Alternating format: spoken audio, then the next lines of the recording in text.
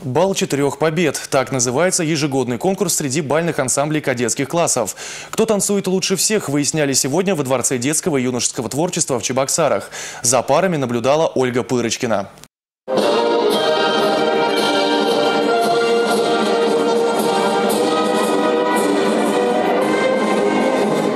Еще только собрались в зале на парад, а негласный конкурс уже начался. В этом году на балу четырех побед 31 ансамбль, а значит 31 вариант причесок и фасонов платьев. Девушки из Новочебоксарского кадетского лицея в этом году танцуют в Бирюзовом.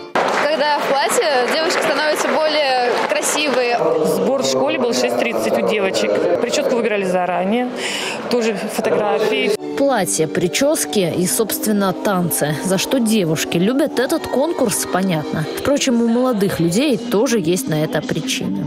Ну, мы сегодня танцуем вальс. Э, молодому мужчине надо уметь управлять своей женщиной, вести ее в танце. Илья и его очаровательная партнерша Анна вместе со своими одноклассниками готовились долго. Нужно было отработать основную и свободную композиции, а еще предстоял конкурс пар. Репетировали каждый день после уроков. И вот момент истины.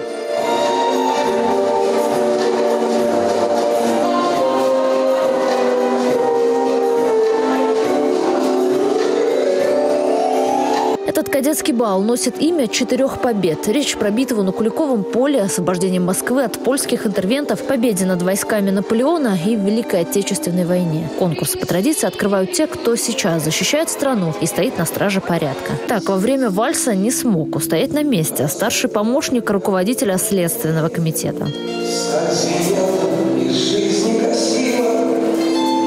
Это была абсолютная импровизация. Я думаю, это как на велосипеде. Если один раз уже, наверное, научишься, там прекрасно помнишь счет, а, как вести а, партнершу. И, в принципе, ну, наверное, чуть-чуть, конечно, если была бы чуть-чуть тренировочка, было бы, может быть, получше. Результаты сегодняшнего конкурса учтут в республиканском конкурсе «Смотре кадетских классов». Тогда участникам придется чеканить шаг. Ну а сегодня только вальс. Ольга Пырочкина, Расиль Мухаметов. Республика.